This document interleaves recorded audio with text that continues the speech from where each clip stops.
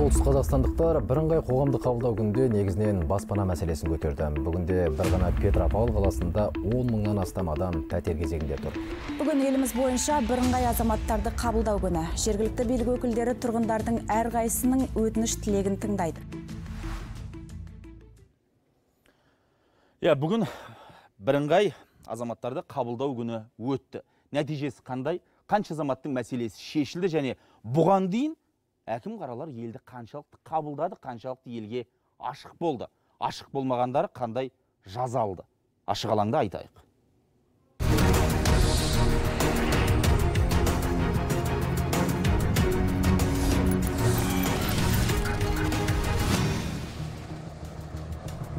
Ұлттық арнада ашық алаң студияда. Нартай аралбайұлы. Құмының құны құйма алтыннан қымбат қазақ елі. Ассалаумағалейкум. Ұлттық арнаның тікелей эфирінде ашық алаң. Бүгінгі тақырып енді азаматтарды бірыңғай қабылдау күні дедік. Дәл осы тақырыпқа қатысты айтар ойларыңыз болса шешілген болмаса ойыңызда жүрген шешілмей қалған мәселелер болса бүгін біздің тікелей эфирге телефондарымызға хабарласыңыздар әлеуметтік желіге жазыңыздар. Барлық сауалдың жауабын беруге тырысамыз және құрметті көрермен айтар ойларыңыз болса ортаға шығыңыздар. Жарай ма? Жақсы. Бүгін енді құрметті спикерлер 21 қараша бүкіл әлемдік телевизия күні екен. Дәл осы тікелей эфирді пайдаланып барлық әріптестерімді алдымен осы мерекемен құттықтағым келеді. Иә. Одан бөлек енді халық үшін де жаңа айттым. Бүгін кереметтей мерекеге пара пар шара болды. Ол мінекей ә, азаматтарды қабылдаудың бірыңғай күні дедік. Барлық әкімдер барлық министрлер елдің алдына шықты.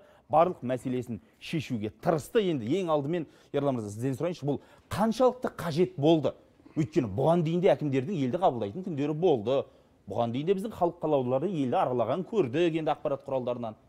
Бұл ә, президент тоқаевтың ә, мынау мемлекетті басқаруға келгендегі ең бірінші қадамының ә, жаңағы логикалық жалғасы ол кісі келген кезде мынау халықты тыңдауға қабілетті мемлекет жасауымыз керек деп мәлімдеген болатын.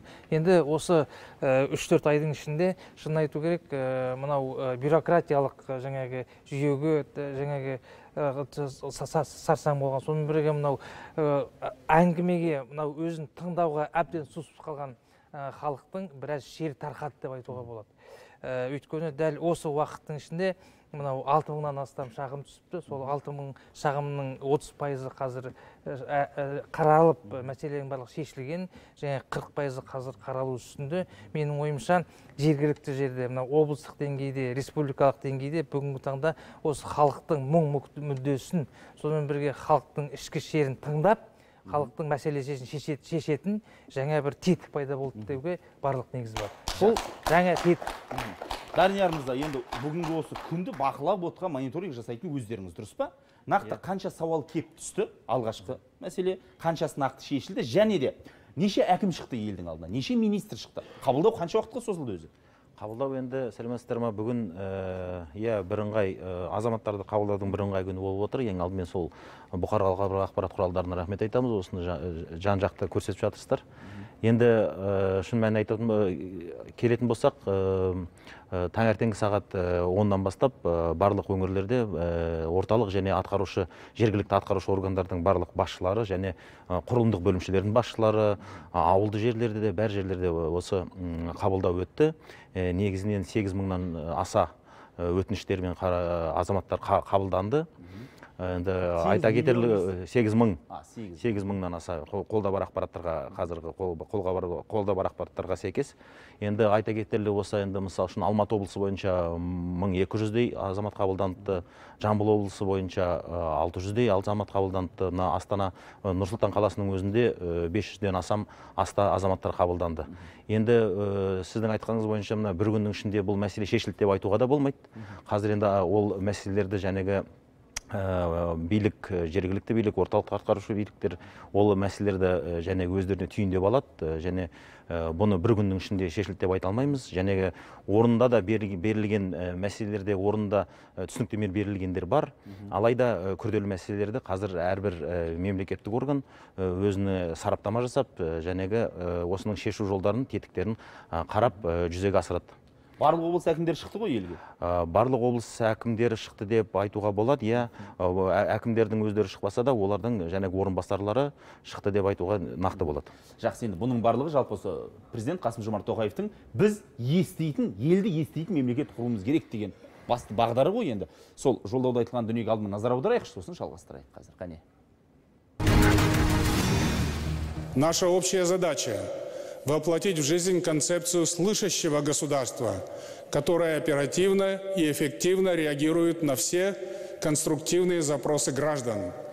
Только путем постоянного диалога власти и общества можно построить гармоничное государство, встроенное в контекст современной геополитики.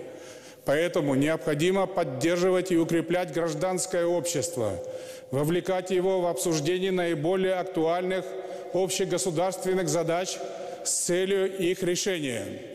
Именно для этого создан представительный по своему составу Национальный совет общественного доверия, который будет работать по ротационному принципу.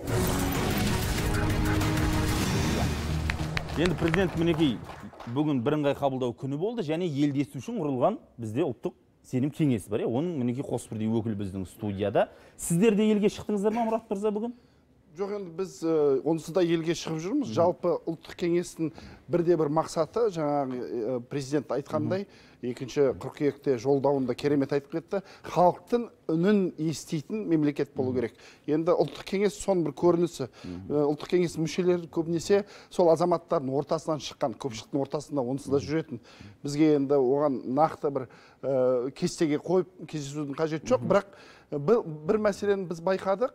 Мынау ұлттық кеңестің жұмыс форматында ашық түрде барлық ойымызды айтуға мүмкіншілік бар. Тек қана отырыста емес. Содан кейін қазір мысалы 15 рет үлкен ірі кездесулер болды. Президент әкімшілігінде үкіметпен енді шын айтқанда бірден министрлер әкімдер біздің ойларымызды бірден қабылдап кетті деп айта алмаймын. Бірақ мынау президент бастағаннан кейін бірте бірте өзгеріп келе жатыр. Бүгінгі күннің өзі де міне арнайы белгілеген ол бұрыннан да қабылдап жүр ғой. Бірақ менің ойым бұл жерде жаңа дәстүр енгізу. Жаңағы біреуі кездеседі біреуі кездеспейді. Бұл жерде ашықтық жария түрде. Мынау президент әкімшілігінің бір жасаған жаңа офисі ашық түрде жұмыс істейді. Оған қоғамдық ә, ұйымдардың өкілі мынау абзал құспан деген адвокат белгілі ашық түрде қабылдап жатыр және азаматтармен бірге барлығын көріп отыр. Мысалы президенттің көмекшісі аида балаева осы жұмысты ұйымдастырды. Мен өткенде барып кездестім мен байқағаным өңірлерде бұл жұмыс әлі енді енді басталып келе жатыр өткенде біраз өңірлердің басшыларын жинап семинар өтті. Сол кезде тапсырма беріп айтып жатыр. Міне бізге тікелей шығып жатыр президент әкімшілігіне. Егер сіздер соны сапалы елде қабылдасаңыздар проблемасын шешсеңіздер ол мүмкін астанаға орталыққа келмес еді дейді мысалы мен ойымша сол себептен бүгінгі күн өте дұрыс болды деп ойлаймын. Жалпы мынау бір қозғау салу жаңа дәстүрді үйрету бір ә, кейбір функционалды өздерінің қызметтерін тиімді іске асыру деп өзім ойлаймын. Өздерінің қызметтері деген шығады бүгін мысалы ақпарат құралдарында тарап жатқан ә, барлық жаңалықтарға назар аудардық. Мәселен қараңыз ә, түркістанда мысалы қала тұрғыны былай деді мысалы әкімге келіп иә бізде ағын су бар дейді. Бірақ ауыз су жоқ. Құдық қазып берген бізге дейді.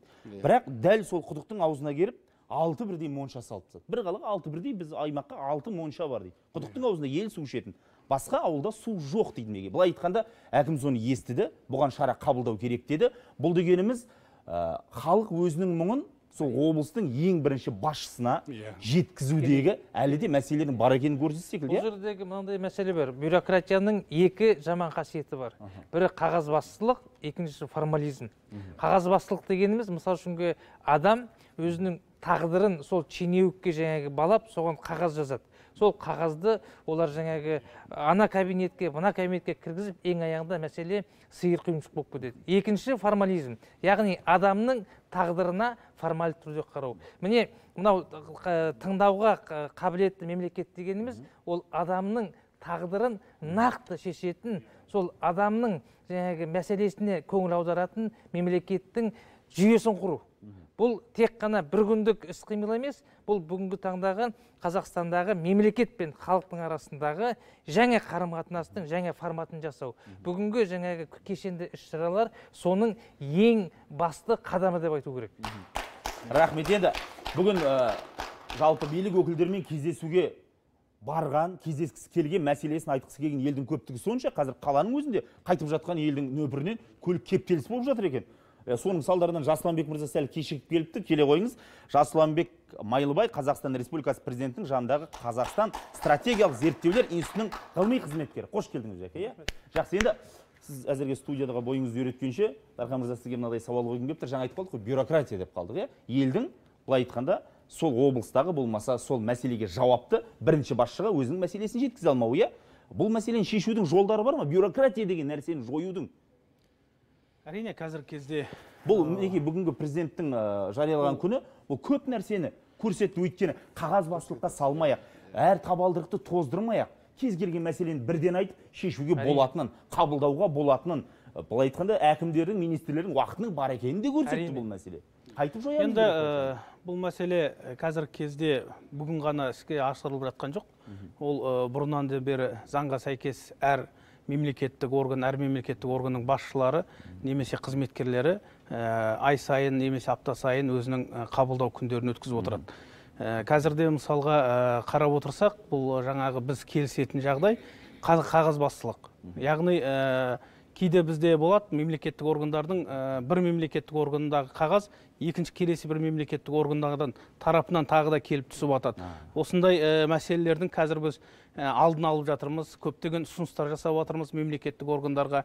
Себебі бір тапсырманы екі бірдей мемлекеттік органдар басқа жергілікті атқарушы органдарға тапсырмау үшін осы функционалдық қазір анализдер жасап соны қысқартып мейлінше и ә, жаңағы алдағы уақытта ә, сол жұмыстардың нәтижесін беруге. Бұл біріншіден. Екіншіден жаңағы айтып кеткен ә, формализм дедіңіздер. Бұған байланысты қазір біз мынау басқару академиясында семинарлар жүргізіп жатырмыз әкімдермен жаңағы тиімді жұмысын өзінің уақытын қалай пайдалану және нақты іске қалай жауап беру бойынша тренингтер және семинарлар өткізіп сол бойынша Әкімдерге? аудандық жаңағы ауылдық әкімдер аудандық әкімдер шақырып жатырмыз және басқа ауыл облыстағы басқарма басшыларын шақырып жатырмыз олар келіп бізге үш күндік тренингтер семинарлар өтіп кетіп жатыр.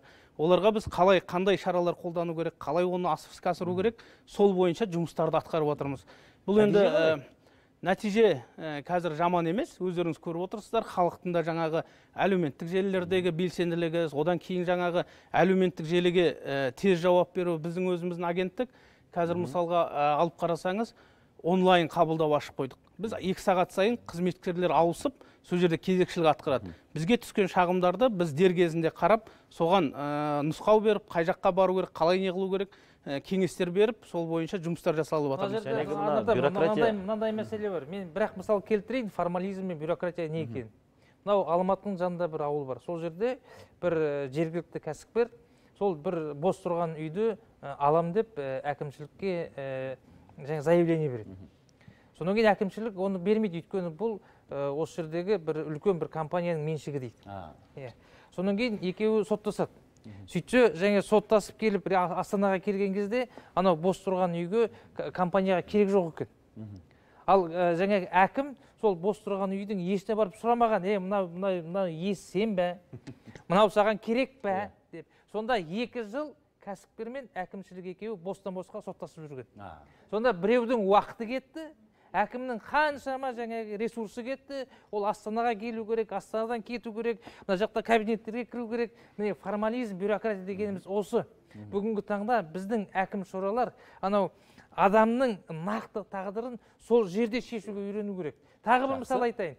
Мына бүкіл жаңағы арыз шағымның келетін 80 пайызы аймақтардан келеді екен. 80 пайызы.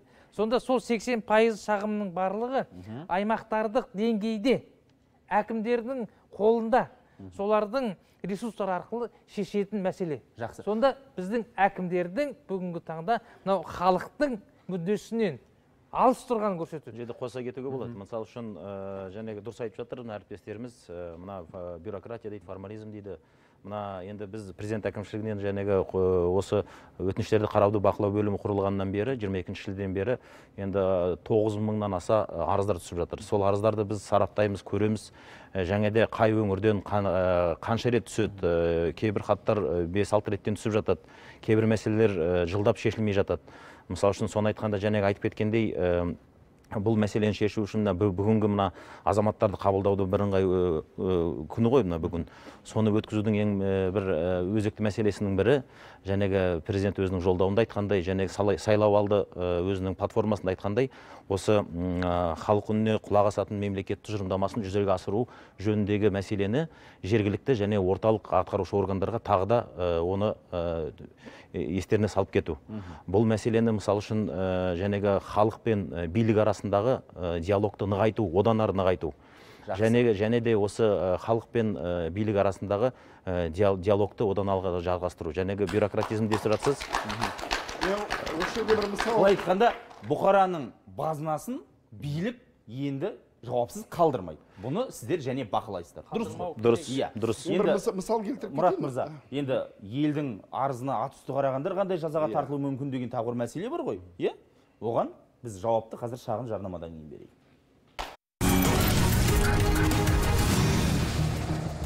Иә мұрат мырза енді жаңа қосатын пікірім бар деп Иә, қалдыңыз енді, ортадан жібердім. жаңағы осы соңғы бір екі айдың ішінде біз мынау э, президенттің тапсырмасынан кейін бір байқағанымыз талап жоғары. Не м, қыркүйекте қойған э, тапсырмалар э, қазан айында тексеріледі. Бүгін қазір талап етіліп жатыр. Жақын арада президент ақмола облысына барды өте қатты сынады әкімдерді. Міне біз тапсырма бердік. Жер бойынша неге жұмыс істемей жатсыңдар? Латифундистерге таратып жіберген жерді әлі қайтарған жоқсыңдар. Көз бояушылықпен айналысып жатсыңдар. Тапсырмаға ат үсті қарап отырсыңдар деді иә. Иә аналардан қорқып отырсыңдар қайтып алуға. Неге сендер берген тапсырманы орындамайсыңдар? Біз сендерге шара қабылдаймыз дегені менің ойымша талай әкімдерді ойландырды. Бұрын енді ә, бір тапсырма берсе екі үш айлап жарты жылдап жүретін әкімдер қазір қозғалып бастады. Мысалы ә, президент әкімшілігі өздері осындай жаңа бастама жасағаннан кейін біз байқап отырмыз. Ә, енді алматыда жақын арада бір кездесу болды. Бөлек кездесу жаңағы шағым жазғандармен президент әкімшілігінің атынан сол кезде шыққан адамдар айтады не біз бірінші рет осындай президент әкімшілігі өздері қабылдап бізді толық тыңдап бізді қолдағанын байқадық дейді. Бұрыннан бері сыбайлас жемқорлықты айтып жүргендер мынау бір ә, аурухананы сатып жіберген екен бір адам екі жыл болды ешкімге кіре алмай жүр міне президент әкімшілігі қабылдады тыңдады сосын осы жерде тағы мынандай нәрсе бар қоғамдық пікірді зерттеу жүйесін енгізілген мысалы алматы қаласында мынандай мәселе болды енді шығып чиновниктер айтады ғой бізде бәрі жақсы бәрі тамаша мысалы зерттеулер арқылы алматы қаласының алпыс пайыз адамы денсаулық сақтау саласына көңіл толмайды сыбайлас жемқорлық бар деп жауап береді Жақсы. сонда президент айтады сендер берген ақпаратың мынау біздің зерттеулеріміз мынандай. Көп адамдар ренжіп жүр. Ашық түрде жария түрде жұмыс істей алмайсыңдар менің ойымша бұл да бір жақсы бастама. Бұрын енді әкімдер алыста биліктен онша ешкімнен алаңдамайтын әкімдер қазір міне тікелей президент әкімшілігі азаматтармен тікелей жұмыс істеп бастап еді. Интернет арқылы әлеуметтік желі нәтиже беріп бастады. Иә. Нәтиже беріп бастады. президенттің пәрменімен жалпы бұқара мен биліктің арасын жақындату үшін деп жатыр данияр мырза бір секунд. Ә, жасамбек мырза енді сіз ә, институттан стратегиялық саяси институт барлығын сараптайсыздар. Жалпы елдің халықтың арыздары негізінен жазба түрінде келе ма электронды түрде ма және ә, жалпы былай айтайықшы жаңағы билік халыққа жақындай түсті дедік қой екі жақ бір бірін естіп жатыр дедік. Халықтың сенімі артты ма? Пайыздық көрсеткіш бар ма? Ә, мысалы былай айтуға болады ә, соңғы жылдары жалпы орталық мемлекеттік ор- а, органдарға ә, хатпен хабарласушылар саны көбейіп жатыр жылдан бірақ бір жағынан олардың жауабына деген көңіл толмаушылық азайып келе жатыр. Ә, ал жалпы негізінен алсақ халық әлі күнге дейін мысалы біз еговты ашып жатырмыз басқа онлайн платформаларды ашқанымызға қарамастан 44 пайызға дейін әлі күнге дейін жазбаша өтініштер қалдырады. Және екінші ә, тұрған ол нәрсе жаңағы жеке қабылдау. 25-26 пайыз халық сол жеке қабылдауға жазылғанын жақсы көреді. Ал мына егов онлайн порталы арқылы тіркелушілер бұлар 20-ға жуық сонда көріп отырғанымыз жаңағы әрі күнге дейін халық жаңағы көбінесе бұрынғы дәстүрлі ә, жаңағы билікке ә, өзінің өтінішін білдіру жолдарын таңдайды екен. Сондықтан жаңағы бұл жерде жарнама көбірек керек. Иә. Жарнамалау керек. Жәнегі мына интернет желісінде және бақ, бақтарда бәр жерде түсіндіріп оны жәнегі саты бойынша қалай істеу керек бәрін түсіндіріп түсіндіріп халыққа түсіндірсе бұл жұмыс иә ақпараттандыру қажет сонда бұл жұмыс ары қарай өркендеп өсуі мүмкін. мен айтар едім бұл жерде мысалға бізде агенттікте күнделікті 30-40 шағым келіп түседі. Оның жиырмасы блог арқылы келеді. Яғни төрағаның блогына тікелей түседі электронды тұрғыда. Біз сондықтан да ол э, қазіргі кезде мынау дәстүрлі деген жаңағы жазбаша түрде деген шағым азайып жатыр ақпараттандыру дегенге қатысты қазір біздің көрерменнің сауалы бар екен хабарласып тұр тыңдайық. Алло? Алло. Теледидарды өшіріп қоя қойыңызшы өтініш. Алло. Ассалаумағалейкум айта қойыңыз. Алло. Айта қойыңыз тыңдап кеш жарық а мен мына батыс қазақстаннан батыс қазақстанның алыс шалғай өңірінен хабарласып тұрмын. Осыған дейін бүгіндегі мынау министрлердің қабылдауы болған екен. Бірақ біз жаңа ғана осы мына ашық алаңда қосқанда ғана естіп отырмын. Бұған дейін біздер ақпараттан ы, ақпараттан біздер хабарсызбыз. Соны неге алдын ала ақпарат беріп хабарлап тағы да кездесулер бола ма екен? Мысалы мен өзім денсаулық сақтау министрлігіне сұрақ қойғым келеді. Жақсы. Ә, мына деген мен өзім мына отыз жыл болды ауырғаныма. Иә коляскада отырамын бірінші бірінші топ мүгедегімін. Ал сондай сондай мәселелермен министрліктен кісі келсе мына аудандарға алыс аудандарға. Жақсы. Мүм- мүмкін деген жаңағы толық тексеру көрермен. Баратын мүмкіндіктер болатын жақсы құрметті көрермен сіз қазір ә, телефон тұтқасын қоймаңыз. Редакторлар барлық мәліметті жазып алсын. Сосын міндетті түрде жауапты министрлікке беретін боламыз. Және бүгінгі бақылауды ә, бақылайтын біздің президент әкімшілік өкілі тұр. Иә. сізге де жеткіземіз. Иә. енді естімей қалдық дейді ел. Және тағы да бола ма дейді? Естімегенде бұл мәселе мысалы үшін әрбір ә, мемлекеттік орган өзінің сайтында орналастырады. Оны көр, ә, не істейді және жариялайды өздері. Ә, сонымен бірге бұл мәселеге байланысты енді бір, бір күн өтті деп айтуға да болмайды. Не бір күн өтті басқа енді ешкім ешқашан қабылдамайды деп билік арасынан. Ә, әрбір ә, мемлекеттік органның ә, және заң бойынша ә, айына бір рет ә, азаматтарды қабылдау керек. Оны кейбір мемлекеттік органдар айына бір рет емес айына үш реттен қабылдайды. Енді президент әкімшілігіне айтатын болсақ жәнегі кісі ойлап қалмасын жәнегі енді бітті енді ешқашан қабылдауға кіре алмаймын деп. Әрбір жәнегі ә, министрліктің сайтына кірсе ол жерде жаңағы қабылдаудың өзінің кестесі бар. Сол кестеге сәйкес ә, қабылдауға жазылуға болады. Енді президент әкімшілігіне айтатын болсақ президент әкімшілігіне ә, қабылдаулар өткізіп жатырмыз. Бұл қабылдаулар енді президенттің көмекшісі өтініштерді қа- қа- қарауды қабыл бақылау бөлімі меңгерушісі балаева аида ғалымқызы мысалы үшін өзі өңірлерге шығады. Қазірдің өзінде же- тамыздың басынан бастап алты өңірде болып келді. Кесте бойынша әлі де алдымызда өңірлер бар. Облыстар бар. Мысалы үшін жаңағы енді былай айтқанда мың екі жүз адамды қабылдады жақсы данияр мырза енді. Иә елдердің өтінішін қабылдайсыздар ғой. Біздің тараптан да өтініш болса жаңағы енді арбаға таңылған азаматтың барлық телефон нөмірлерін ақпаратын жақсы жақсы. Біз алып оны іске алып оны бақылауға алайық. Жақсы. Енді бүгінгі бақылаудан кейін ішкі істер министрі ерлан тұрғымбаевтың айтқаны бар еді. Соған бір ауыз назар аударайық. Қазір бір ауыз. Қанекей көрсетіп жіберейік былай дейді мінекей азаматтардың министрлікке тікелей жүгінуге мәжбүр екені жергілікті жерлерде олардың проблемалары шешілмей жатқанын көрсетеді. Ішкі істер министрлігінде де азаматтардың өтініштері мен арыздарын қарау және шешу жөніндегі жұмысты талдайтын арнайы топ құрылды. Оның жұмыс нәтижесі бойынша аумақтық бөліністер басшыларының жұмыстарына баға беріледі. Азаматтардың бірде бір өтініші мен мәлімдемесі назардан тыс қалмайды дейді. Бұл дегеніңізде министрдің өзі айтып тұр ғой біраз мәселені жергілікті жерде де шешуге болатын еді. Мінекей арнайы топ құрылды және олардың жұмыстарына баға беріледі дейді. Данияр мырза сіздердің тараптарыңыздан да баға берілетін шығар мынау біздің тарапымыздан да біз әрбір мемлекеттік органды әрбір орталық және атқарушы мемлекеттік органды қадағалап отырмыз. Бәріне бер- берілген жәнегі өтініштерді қарауды қараудың сапасына жәнегі сараптама жасап отырмыз. Және сіз дұрыс айтасыз ә, кісілер кейбір осы бір қабылдауда маңғыстаудан бір кісі келіп мысалы үшін жәнегі айтып отыр «Ә, мен осы ә, жәнегі медицина мәселесі бойынша бір квотаға жазылайын деп дейді. Екі ауыз сөз. Оны жәнегі кездесуде отырған денсаулық сақтау министрлігінің өкілі бұл квотаны ә, маңғыстау облысынан жәнегі облыстық ә, басқармадан ә, квотаны квотаның тізіміне кіресі де сол жерден бізге ә, Сол жақта жіберіледі сол жақта шешілетін дүниені маңғыстаудан келіп екі сөз есту үшін осы жаққа келіп отыр. Бұл енді мысал келтірейін мынау ішкі министрлік бойынша. Енді жаңа министр келгеннен кейін шамалы ашық жариялық пайда болды. Мен өзім енді соңғы үш айда төрт бес рет ішкі істер министрлігіне қатысты мәселені көтердім екі рет қызметкері екі рет министрдің өзі маған хабарласты әлеуметтік желіге мынандай мәселені жазыпсыз мәке көрдік ертең сізге хабарлайды және ол мәселені шешемін деді. Мен мысалы өзім қуанып қалдым. Мен менің ойымша қазір осы өзгерістер әшейінде жабық министрлік қой. Өмір бойы біз сынап келдік ішкі істер министрлігі. Бірақ осындай өзгерістер министрлерден басталса мен ойымша өңірлерден де үйрену керек. Кейбір өңірлерде әлі полиция қызметкері ондай емес. Иә бізде бұл министрлікті шақыруға ақпарат алу қиын еді. Соңғы кезде көп келетін болды. Біз де қуанып қалдық шын айтайын жаңа бір тенденция бар. Мен жаңа ә, білім министрлігінің министрімен кезігіп келдім. Осы жаңа сонда олар ә, осы азаматтардың арызын қарастыруды мынау мессенджер арқылы жасап қойған екен қызық. Ә, секунд сайын түсіп тұрады. Олар он- онлайн режимде күні бойы түні бойы жаңағы қандай арыз түседі соның барлығын қарастырып отырады.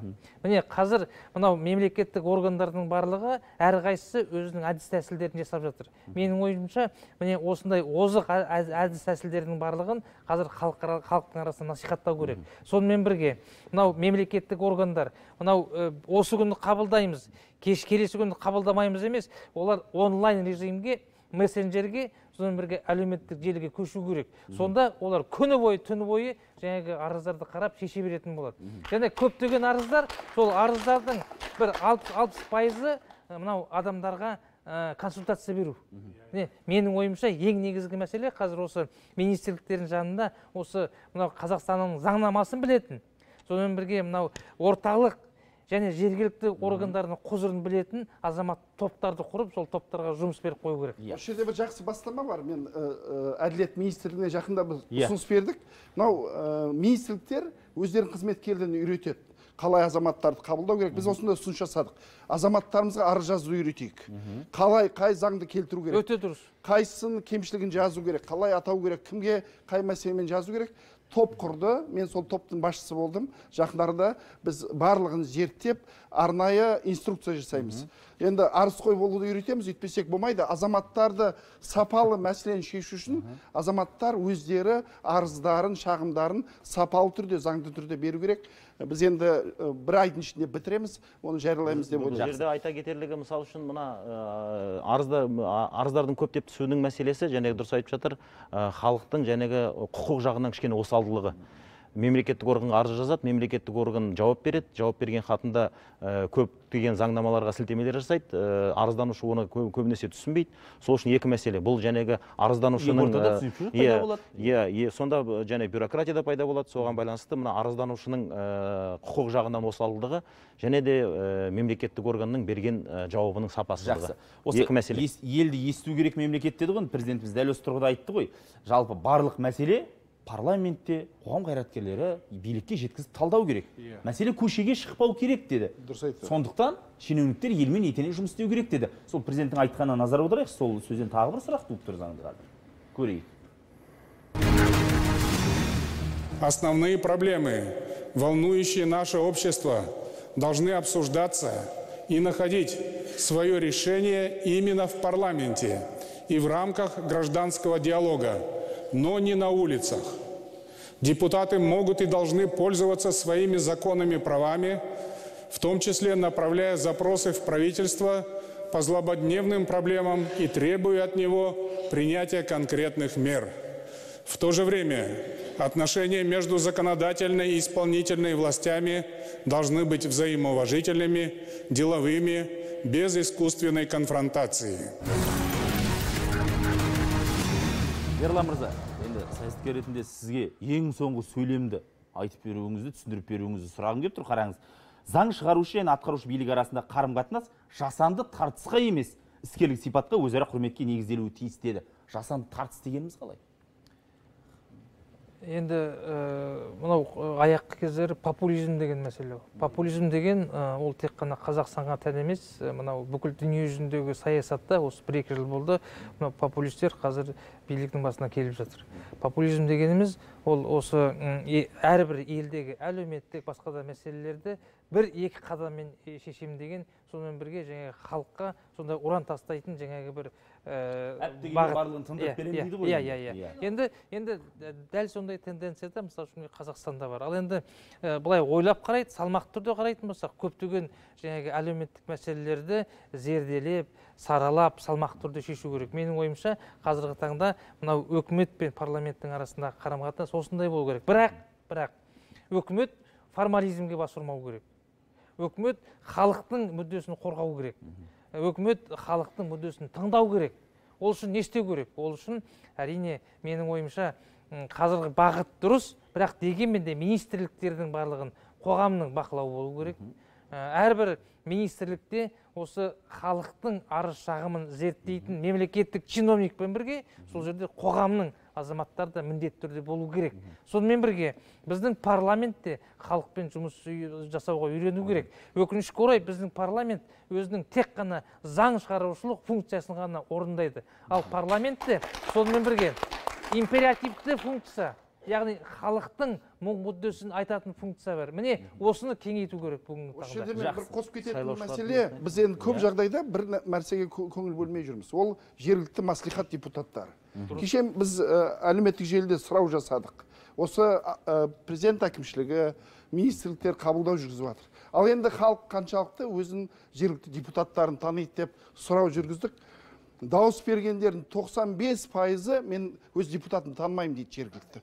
Сонда олар не істеп депутатын жүр деген сұрақ туындайды жергілікті маслихат депутаттары қасында жүрген мысалы біздің басқару жүйесінде әкіммен қатар маслихат депутаты жүру керек. Мысалы көптеген проблемалар шығып жатыр. Кешегі жаңа жамбыл облысындағы мәселелер бойынша жаңағы мектепте болған жағдайда маслихат депутаттарды қайда қарап отыр деген сұрақ туындайды. Солай емес па? Ал егер біз маслихат депутаттары осы мәселені көтерсе партия арқылы болсын өздері тікелей ақша бөлдіріп соны жасатса әрине шешілетін еді. Мысалы кеше дархан мырза дәл осы мәслихат депутаттары жамбыл облысында жамбыл облысында осы мәселе шешілген жоқ кеше. Енді бер жағындағы кішкентай қызметкерлерін жұмыстан босатты. Бүгін амал жоқ президент айтты. Мынау қала әкімін жұмыстан босату керек.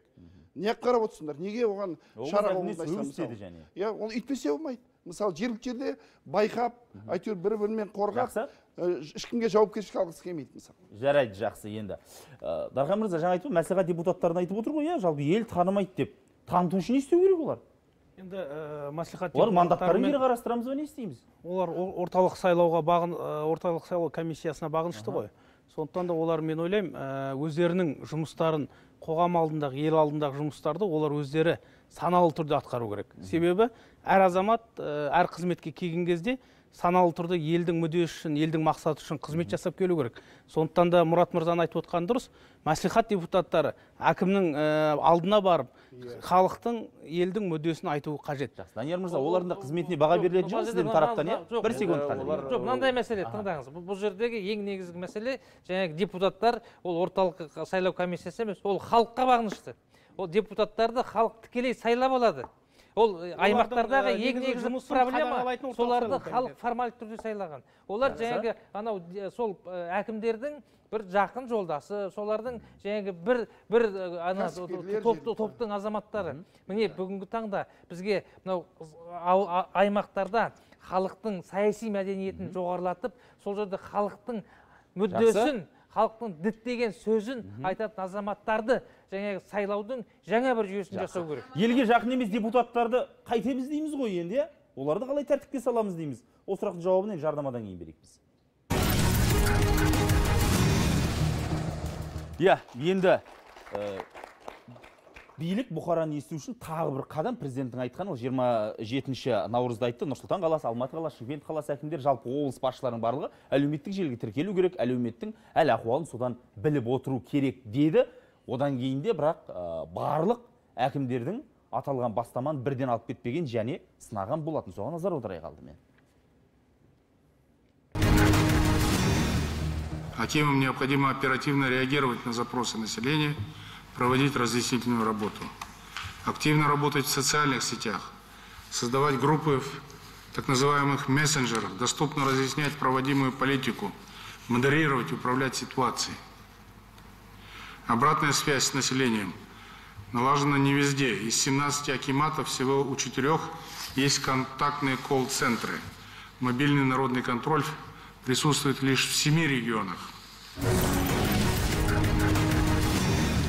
иә 27 наурызда айтты жалпы енді президентіміздің бұрыннан бері твиттер желісінде белсенді екенін білеміз одан кейін инстаграм желісіне және қосылды ол жақта жастар отырады кейде бірақ жас деп кәрі деп бөлінбейді мемлекет бәрімізге ортақ. Сондықтан барлығымыздың мұқтажымыз билікке жетуі тиіс. Билік сол ә, түйткілдердің түйін тарқату үшін барынша қызмет ету керек. Қазір енді оған бірнеше қадамдардың жасалғанына және куәміз енді. Данияр мырза жаңа айтылған сынды естідіңіз ғой. Мінекей он жеті әкімдіктің төртеуінде ғана кол орталық бар деді. Қазір өзгерді ма жағдай? Қазір енді әкім әкімші әкімдіктер өздері қолға алып жатыр. Ә, қазір ә, бұл істі жеде ә, бұл бұл бағытта жұмыс жүріп жатыр қазір. Енді нақты бір облыста ашылды деп қазір мен сізге нақты айта алмаймын. Ә, алайда бұл ақпаратты беруге болады ә, бірақ бұл іс жүріп жатыр. Енді ал президент иә иә әлеуметтік желіге тіркелу. Президент әкімшілігінің жаңағы өзін айтатын болсақ мысалы үшін бізде инстаграм каналымыз бар өзінің өзіміздің мына бөлімнің. Өтініштерді қарауды бақылау бөлімінің. Содан кейін барып YouTube каналымыз бар жаңағы құспан абзал деген азамат біздің адвокат ашып жүргізіп жатыр. Содан жаңағы президент әкімшілігіне келіп түсетін арыздардың үш бағыты бар. Біріншісі ол ә, ақорда сайтында жаңағы президенттің виртуалдық қабылдау бөлмесі. Екіншісі жаңағы егов арқылы келеді. Ә, үшіншісі жаңағы ә, почтамен келеді. Почтамен келетіндердің енді айтайын енді күніне қырыққа хат келеді. Ал президент әкімшілігіне күніне төрт жүзден аса хат келеді. Сонда қарап отырсаңыз мына интернет желілерінен ә, хаттар ә, жаңағы арыздар өтініштер көбірек келіп отыр. Президент әкімшілігін ғана айтатын болсақ. Әлеуметтік желіде қаншалықты белсенді екенін елдің мәселесі қаншалықты шешіп жатырғанын бақылай аламыз ба? Оны бақылауға оңай ғой. оңай ғой. Мысалы үшін фейсбук фейсбук әлеуметтік желісі ол қазақстандағы бүкіл жаңағы аудиторияға өзі көрініп тұрады. Кім жұмыс істеп жатыр кім формаль істеп отыр. Фейсбуктен де қарап шын, шынын айту керек. иә, шынын айту керек кей- кейбір әкімдер фейсбукты дұрыс пайдаланады. Жаңағы аймақтың әлеуметтік мәселесін шешуге экономикалық проблемасын көрсетуге дағдыланған. Ал кейбір әкімдер әкімдердің орынбасарлары олар тек қана формальды түрде ғана емес сонымен бірге жеке өміріне және жарнама жасайды. Былай қарап отырсаң кейбір әкімнің орынбасарлары турист сияқты. Анда бардым мында келдім ана жерде жаңағы бір үлкен бір сауық орталығына барып кеттім деген сияқты. Міне формализм деген осыдан пайда болады. Жақсы. Міне осыны осыны діттеп қарап осыны бақылап сонымен бірге осыға баға беріп отыру керек. Дархан мырза сіз айттыңыз ғой шенеуніктерге елмен қалай жұмыс істеу керек екенін үйретеміз дедіңіз ғой. Әлеуметтік желімен жұмыс істеуді үйретесіздер ма? Әрине ә, біз сізге келгеннен кейін біз ә, мүмкіндігінше барлық жаңағы айтып жатқан мәселелердің бәрін қамтимыз. Себебі бізде әр аудандық әкімдер әр облыстық әкімдердің барлығында жаңағы өзінің әлеуметтік желілері бар. Сол бойынша нақты қандай шаруаларға қалай жауап беру керек және қандай ә, нақты шешім қабылдау керек шақыру керек кездесу керек. Біз оның бәрін күнделікті жұмыстарды атқарып отырамыз. Себебі ә, біріншіден ә, мен жаңағы айтып кетейін ерлан мырза айтып кетті ғой. Ә, цифрлық агент бойынша. Ол негізінде 2018 жылы ә, қазан айынан бастап жұмыс жасалынып жатыр цифрлық агент. Себебі біз ә, қызмет көрсетуге барған жаңағы ә, мемлекеттік корпорацияға барады немесе жаңағы е, басқа да ә, егов бойынша бір қызметтік ә, сал алғылар келсе бізде цифрлық агент бар. Біз бір жыл болды осы осымен жұмыс жасап жатырмыз қазір 20 мыңнан аса адам сол мессенджер бойынша тіркелген. Жаңағы ә, қызмет дұрыс көрсетілмей жатса немесе жаңа әкімдіктер дұрыс жұмыс жасамай жатса бізге жаңағы ә, сообщение жазылады. Сол арқылы әр мемлекеттік органда соған жауапты қызметкерлер бар. Жақсы. Солар жауап бергеннен кейін барып жаңағы біз егер жауап бермей жатса біздің қызметкерлер қарап отырады. Жауап бермей жатса біз сол мемлекеттік органға шығып ә, не үшін жауап бермей жатқан мәселесін тексеріп отырамыз. Жақсы. Сондықтан да стратегиялық зерттеулер институтының ғылыми қызметкерісің ғой иә? Тиімділігін көрсетті ма бұл жоба жаңағы? Ә, байланысты айтасыз Иә. ғой да әлеуметтік Иә. желіде? Әрине себебі ә, мысалы өздеріңіз де қарап отырсыздар жаңа ерлан ағамыз айтты ғой. Негізі мынау қазіргі президент бұны марттың аяғында айтып барлығын аш- ашу жөнінде содан қазір жұмыстар жүріп келе жатыр. Негізі қазір нақты осы күшті немесе жаман деп баға беруге менің ойымша әрі ерте деп ойлаймын. Себебі оны зерттеген адам ретінде бұл әкімдердің аккаунттарын. Бір- бірақ дегенмен де жаңа айтқандай міне мысалы кейінгі осы марттан кейін мысалы жақсы зерттеу жүргізіп баға беруге болады. Бірақ дегенмен де ерлан ағамыз айтқандай жақсы пайдаланып жатқан әкімдер көп. Бәрекелді. өте жақсы бірақ атау қиын. Шын айтқанда енді көп әкімдер өзі жоқ әлеуметтік желіде енді сіз секілді әлеуметтік желіде белсенді иә, қолданатын адам аз қолдан қолдан бір агент бірнәрсе шығарудың ы, қажет жоқ деп ойлаймын. Президент айтты ғой әлеуметтік желіні пайдаланыңдар. Мысалы фейсбукте тікелей енді тікелей эфирде тұрмыз ғой. Фейсбукте қай әкім бар? Көп болса бір үш төрт ақ әкім бар. Қалғандары қорқып қашып жүр. Себебі фейсбукте тікелей жауап беру керек. Мысалы олар жоқ. Өкінішке орай солай. Әкімшіліктердің өзі жоқ. Ақпараттар берген қызық емес. Оны өздері емес пресс служба жазады суретін әкім өзінің суретін алыстан түскен суретін қояды да ресми жазады оны кім тыңдайды? Сол себептен мен ойымша шынайы қабылдау керек. Жақсы. әлеуметтік желінің бір жақсы пайдасы тікелей байланысуға болады. Мысалы біз көрдік қой президент өзі тікелей жазады және оны шынайы өзі жазып тұрған көрініп тұрады. А қалғандары белсенді емес әшейін тек қана есеп беріп отыр. Біз енді халықтан сұрадық. Қай шенеуніктің әлеуметтік желісіне тіркелгенсіз көңілдеріңіз тола ма деп сол жауабын көрейік халықтың халық сөзі. Жоқ ондай менде уақытым жоқ. Мен бабушкаға немерелерім бағады не істеп қойғандары қыз- қызық емес. Өз өздерімізкіне ә, өзімізкіне аса ке- керемет жазылмаппын. Мен тек кім бауыржан байбекке жазылған сосын осы астана қаласының әкіміне жазылғам қандай жаңалықтар болып жатыр өзім өмір сүріп жатқан қоғамда не болып жатыр соның бәрін білгім келеді. Қала әкімі алтай көлгіновке жазылғам ешкімге жазылмаған вайнерлар в основном басқа ешкімге жазылмаған. Қазақстан инстаграмда тоқаевқа президент тоқаевқа жазылғам Э, басқа жоқ жазылмаған ешқайсысы. Жазылған жоқпын ешкімге қызық емес ешкім маған. Мен аты есімде жоқ бірақ бәріне жазыламын жазылып оқимын. Ешқандай ешкімге. Қарамаймын ол не интересует. Маған ешқандай да шенеуніктер қызық емес. Өйткені мен себебі мен ешқандай әлеуметтік желілерде оларға тіркелмегенмін. Ерлан мырза енді жаңа естідіңіз ғой э, шенеуніктер әлеуметтік желіде жоқ өзге деп сыналып жатыр. Бірақ халықтың өзі бізге жолыққан тілшімізге жолыққан өздерінде де қызығушылық жоқ секілді ме? Қалай бұл? Халықтың ә, басым көпшілігінде қазір қызығушылық бар. Олар ә, осы әлеуметтік желіні жіті бақылап отырады. Және шын айту керек біз анау ауылда аймақта болған кезде сол ә, өзіміздің ауылдың аймақтың азаматтарының өздері бізге кәдімгідей сараптама жасап береді. Міне мына әкімнің жаңағы сайты мына ә, аккаунтында осылай жазылған. Мынау дұрыс мынау өтірік деп өздері жаңағы әлеуметтік экономикалық мәселеге өздері сар- сараптама жасап береді. Негізінде бұл әкімдердің аккаунттарын ашқаны ол биліктің ашықтығын көрсетеді. Бұл дұрыс процесс. Және шынын айту керек біз жаңағы ә, тек қана облыстың әкімдері емес ауданның әкімдері де ашты. Және кейбір ауданның әкімдері осы өзінің фейсбуктағы аккаунтын творчестволық тұрғыда пайдалануға тырысады. Ә, әртүрлі жаңағы туристерді тарту үшін өздері пост жазады. Иә. Сонымен бірге аймақтың экономикасын көтеру үшін кей- кейбіреулер инвестиция іздеуге тырысады. Бұл өте дұрыс. Иә. Бірақ бірақ әкімдердің басым көпшілігі өзінің аккаунтын әкімдердің фейсбуктағы айтпақшы парақшалары мұрат мырза. Жеке жарнама үшін пайдалануға тырысады. Міне осы дұрыс емес. Өйткені бүгін халықты алдау мүмкін емес. Халық мынау жарнама жасап жатыр. Мынау өзінің жұмысын көрсетіп отыр деп олар нақты айта ара жігін ажалы әрине. Жақсы. Данияр мырза мына мәселеге тоқталайық. Қараңыз президент жолдауда айтты ғой ә, жергілікті жердегі билік өкілдерінің жұмысының жұртқа деген тиімділігін арттыру туралы айта келе былай деді мысалы егер сауалнама немесе онлайн дауыс беру нәтижесінде тұрғындардың 30 пайызынан астамы қала немесе ауыл әкімінің жұмысын тиімсіз деп есептесе бұл президент әкімшілігінің арнайы комиссия құрып туындаған мәселені зерттеуіне және тиісті ұсыным енгізуіне негіз бола алады деді. Бұл жұмыс қалай жүріп жатыр енді? Бұл жұмыс э, жүріп жатыр. Біз енді э, бұл жұмыстың э, қалай жүріп жатқанын халықтың өзінен білеміз. А, біз енді айтып отырмын ғой өтініштерді қарауды бақылау бөлімінде отырмыз ғой. Келіп жатқан өтініштерден көріп отырамыз біз. Мысалы үшін э, әр облыстан қанша э, арыздар келеді. Соған байланысты ә, жәнегі облыстың әкімнің жұмысын бағалауға болады. Әрине әрбір облыста жәнегі адамның саны әртүрлі. Және де өзінің сипаты да басқа. Бірақ негізінен мысалы үшін қай өңірлерден арыздар көбірек келеді қай өңірлерден арыздар қайталанып келе береді. Соған қарап біз ә, жәнегі ә, әкімдердің ә, жұмысын сынай аламыз көре аламыз. Жәнегі со- со- соған қарап жәнегі әр адамның өзінің әкім әкіміне қанағатты ма қанағатсыз ба содан білуге де болады. Данияр мырза мынаны сұрайықшы енді. Бізде осы облыс әкімдерінің қала әкімдерінің рейтингі жасалады ғой үнемі иә? Оған жанталас болып жатады. Бірінші орында мына облыстың әкімі екен мына қаланың әкімі екен деген секілді.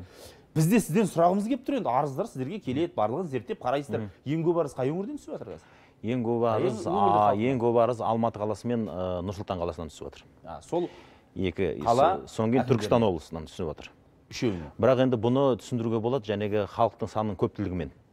Және де ә, мысалы үшін ә, айтып кетті ғой және ә, әріптестеріміз айтып кетті. Ә, мына халық үнін құлақ асатын мемлекет тұжырымдамасын жария еткеннен кейін өткен жыл, жылмен салыстырғанда арыздар екі жарым есеге көбейіп кетті. Халықта үміт пайда болды. Иә үміт пайда болды әлеуметтік иә. мәселесі егер біз жаңағы билікке өзіміздің номымызды шығарсақ әлеуметтік мәселе шешіледі деген халықта үміт пайда болды. Сондықтан олар өзінің жаңағы мұң мүддесін билікке жаза бастады. Бұл негізінде дұрыс тенденция. қаланың адамдары белсенді ғой шамалы. Мына орталықтағы тұратын азаматтар әлеуметтік желіні пайдаланады көп араласады. Мен ойымша ауылдық жерге қарағанда қаланың адамдары арыз айтуға да шағымдануға сосын мен ойымша бұл жерде мынадай бір мәселе. Көп жағдайда біз арыз шағым деп ойлаймыз. Қазір президенттің айтқан сөзі басқаша. Сіздер шешім қабылдаған кезде халықпен санасыңдар ойларың тыңдаңдар. Олар тек қана біреуге арыздану үшін емес өз идеясын айтады ойын айтады. Былай бірге жасайық. Біз де бір жағын көмектесейік. Біз де Ондайлар да болады, иә. сырттан тыс қалмайық деген ортаға салып ақылдасып шешсеңдер әлдеқайда тиімді болады деп айтып отыр мен ойымша сол жағын ескеру керек. Бұрынғыдай мен бастықпын барлығын өзім білем ешкіммен ақылдаспаймын өзім шешемін деген емес. Халықпен ақылдасып шешетін болса енді қазақ дана қазақ айтқан ғой енді. Ә, келісіп пішкен тон келте болмайды. бұл жерде мынандай бір мәселе бар. Қысқа нұсқа ерлан мырза. Ол ол ең негізгі мәселе деп ойлаймын. Жаңағы сіз өзіңіз айтып кеттіңіз президент айтты егер халықтың үштен бірі әкімге қанағаттанбайтын болса онда ол жөнінде жаңағы мәселе қарастырылады деп. Енді осы біздің осындай бағдарлама мынау ағартушылық рөл атқару керек. Бізге мынау облыстарда аудандарда егер де әкімдер өзінің жұмысын нақты атқара алмайтын болса онда сол жердегі азаматтар өзінің позициясын көбірек білдіріп сол ә, аккаунттарда әлеуметтік желіде ә, әр рейтингін өздері шығару керек. Жақсы. Енді қараңыздар бүгінгі халықты бірыңғай қабылдау күні болды ғой. Соның нәтижесінде мінекей қамалжан адыров қазақстан республикасы денсаулық сақтау вице министрі мына былай деді. Ол өте маңызды сөз болды негізі. Бүгінгі қабылдаудан біраз проблеманың барына көз жетті. Азаматтардың басым бөлігінің мәселесін аудан облыс орталықтарында шешуге болады. Бірақ көргеніміздей тұрғындар бізге келген дейді. Бұл да біраз дүниенің енді басын ашып тұрған секілді. Енді таймердің уақыты келді. Әрқайсыңызға 30 секунд уақыт беремін ортаға қастайтын сауал енді. Билік бұқараны есту үшін тағы да қандай қадамдар жасалу керек? Және бүгінгідей мінекей халықты бірыңғай қабылдау күніне қатысты тағы ұсыныстарыңыз болса ортаға салсаңыздар алғашқы кезек сізде дархан мырза енді біз алдағы уақытта осы ә, мемлекеттік қызмет көрсету саласына байланысты бақылауды күшейтеміз. Ә, ол бойынша біз жаңағы айтқан цифрлық агентті одан да жандандырамыз алдағы уақытта. Сосын ә, мынау мемлекеттік қызмет көрсету саласында халықтың жаңағы мұң мұқтажын көбірек есту үшін біз өзіміз жергілікті аймақтық территорияларда өзіміздің жұмыстарымызды жетілдіреміз деп ойлаймын алдағы уақытта. Рахмет. Мұрат мырза. Енді мен ойым ең бастысы бұл жерде мынау халық пен билік ол қарама қарсы тұрған бір біріне бір қарсы жүйе емес бірігіп істесе тіршілік жақсы шешіледі. Сол себептен ең бірінші бір біріне сеніммен қарау керек екінші бір біріне тең құрметпен қарау керек. Тең қарым қатынаста болып әріптес есебінде болса көп мәселе оңай шешіледі. Біз негізі ашық үкімет концепциясын ашық мемлекет концепциясына өтіп жатқан мемлекетпіз бұл өте былайша айтқанда әлемдік тренд және өте маңызды. Енді бұл жерде жаңа біз мемлекеттік органдарда жалпы біздің халықта осы ә, жағдайға үйрену үстінде деп айтуға болады. Сондықтан бұл жерде мемлекеттік органдардың да жалпы осы ақпаратты беру жағында үйрену керек және халықтың да функционалдық сауаттылығын арттыруға мән беру керек. Ерлан мырза. Үш аспект бар. Бірінші аймақтардағы әкімдер волюнтаризмнен ада болу керек. Әрбір шешім қабылдаған кезде халықтың мүддесі ең бірінші тұру керек. Екінші жеке адамның тағдырына келген кезде ә, формализм болмау керек. Әрбір әкім әрбір адамның тағдырына жауап беру керек. Үшінші қағазбастылық. Бірақ бірақ халықтың өзі әкімнің жұмысын бақылауға үйрену керек. Бүгінгі заманның ең негізгі тенденциясы.